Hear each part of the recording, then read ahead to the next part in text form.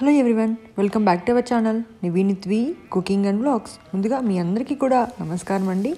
ఇవాళ వీడియోలో మన ఛానల్లో రెండు వేల ఇరవై మూడులో ఉగాది అనేది ఎప్పుడు వస్తుంది అలాగే ఉగాది పచ్చడి మనం తీసుకుంటాం. కాకపోతే ఈ ఉగాది పచ్చడి ప్రత్యేకంగా ఈ టైంలోనే తీసుకుంటే మన ఆరోగ్యం అనేది చాలా బాగుంటుంది. అలాగే ఉ- ఉగాది రోజున ప్రత్యేకించి తైలభ్యంగన స్నానం అనేది చేయాలి.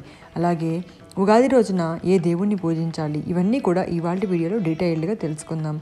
ఉగాది అంటేనే మనకు గుర్తొచ్చేది లేత లేతగా అప్పుడే వచ్చిన మామిడి పిందెలు అలాగే అప్పుడే పూస్తూ ఉన్న వేప పూతలు ఇవన్నీ కూడా మనకు గుర్తొస్తూ ఉంటాయి. చల్లగా వాతావరణం మారిపోవడం చల్లగా ఉన్న వాతావరణం నుంచి ఎండలు విపరీతంగా కాచే ఈ చైత్రమాసం నుంచి మనకి ఎండలు అనేవి చాలా ఎక్కువైపోతూ ఉంటాయి. అయితే మార్చి నెలలో మనకి రెండు వేల ఇరవై మూడులో మార్చి నెలలో ఇరవై రెండవ తేదీ అనేది వచ్చిందండి. ఆ రోజునే మనకి పాడ్యమి తిథి అనేది రాత్రి తొమ్మిది గంటల యాభై ఐదు నిమిషాల వరకు ఉంది. ఆ ముందు రోజు కొత్త అమావాస్య. ఆ కొత్త అమావాస్య అనేది మనకి మార్చ్ ఇరవై ఒకటవ తేదీ రాత్రి ముప్పై తొమ్మిది రాత్రి పదకొండు గంటల ముప్పై తొమ్మిది నిమిషాల వరకు వరకు ఉంటుంది.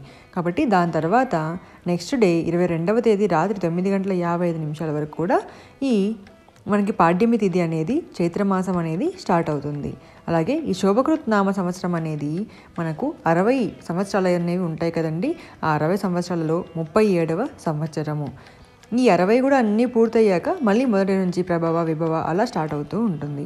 మరి ఏ దేవుని పూజించాలి అంటే మీరు ఎవరైనా చైత్ర వసంత నవరాత్రులు అనేవి మనకి ఈ రోజు నుంచి తిరిగి శ్రీరామనవమి ఆ తొమ్మిది రోజుల వరకు కూడా ఉంటాయన్నమాట. అలా ఎవరైనా చేయాలి అనుకున్న వాళ్ళు అమ్మవారి దగ్గర కలశం అనేది పెట్టాలి.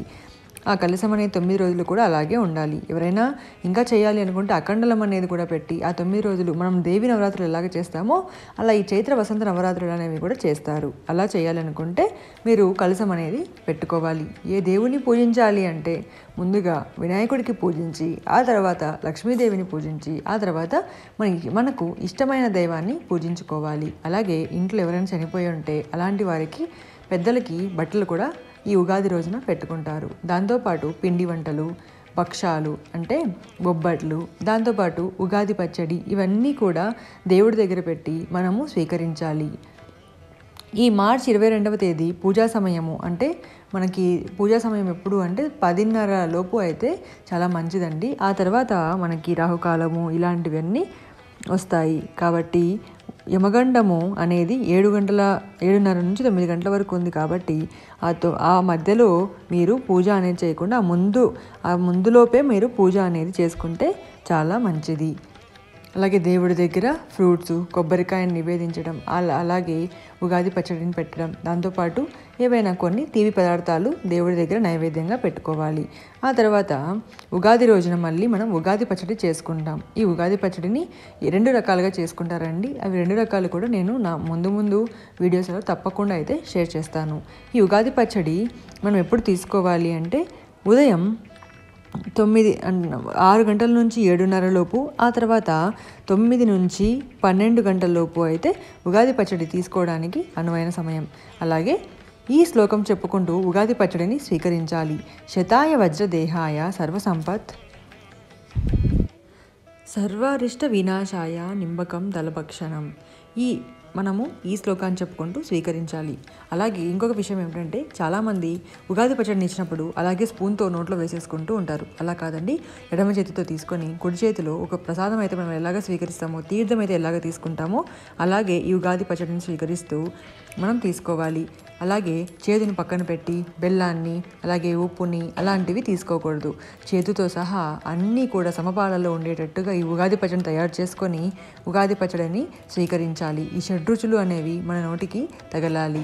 ఇంకొకటి ఏంటంటే మనం ఇలా వేసుకున్నప్పుడు ముందుగా అయితే మనకి ఏ టేస్ట్ అనేది వస్తుందో దాన్ని బట్టి మనకి సంవత్సరం అంతా అలాగే ఉంటుందని కూడా కొందరు నమ్ముతారు. ఇది మీకు కూడా కావాలంటే ట్రై చేసి చూడండి.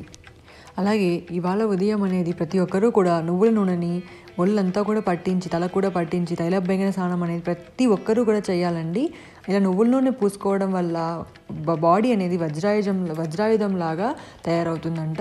ప్రతిరోజు చేయలేకపోయినా కనీసం ఇలా పండగలకి పబ్బాలకి ఇలా చేసినట్లయితే మన బాడీ అనేది చాలా బాగుంటుంది. నువ్వుల నూనె అనేది మన బాడీని కూల్ చేస్తుంది. ఎందుకంటే ఇప్పుడు ఎండల కాలం కాబట్టి కూల్ చేసి చేయడం వల్ల తైలభ్యంగిన స్నానం చేయాలి అని అంటారు. మన పెద్దవాళ్ళు పెట్టిన ప్రతి ఒక్కటి కూడా ఆచారం అనేది ఏదో ఒక ఉపయోగానికే ఉంటుంది కానీ అది వృధాగా పోదు. కాబట్టి ప్రతి ఒక్కటి కూడా పాటించడానికి ట్రై చేయండి. ఇదండి ఇవాళ వీడియో.